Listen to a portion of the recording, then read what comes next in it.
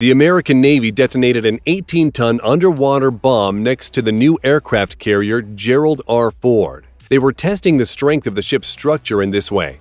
The bomb detonated by the military caused an explosion comparable in power to a 3.9 magnitude earthquake, the U.S. Geological Survey said. Such handmade earthquakes are common in this area because the U.S. Navy regularly performs shock tests to its ships here. Experts stated that such events are not destructive to the coast.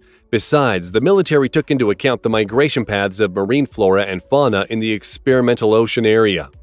The U.S. Navy reported that the aircraft carrier withstood the test, showing its resistance to dropping such bombs and its effectiveness in combat.